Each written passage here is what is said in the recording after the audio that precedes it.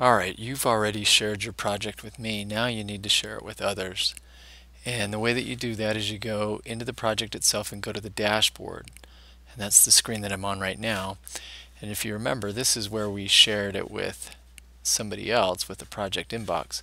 And right below that it says student collaboration. And this is where you can share it with somebody else.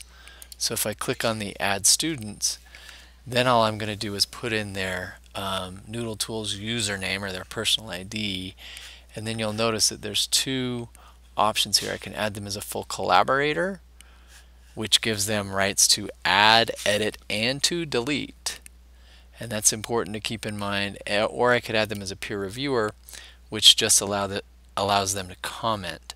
Now you're going to want to add them as a full collaborator because they're going to add to your bibliography at some point. So all you have to do is get their Noodle Tools personal ID and type it in and then you just click done and it should add them in and what will happen is in the list of projects it'll it'll appear here and you'll notice that you've got two different columns here. These ones are shared, these are ones that are collaborating with me, and so it should appear there. If you have any questions or problems, let me know and we'll get it figured out. But again, all you have to do is go to the dashboard and then type in and go here to add students and then add in their personal ID as a full collaborator, click done, and it should show up in your projects.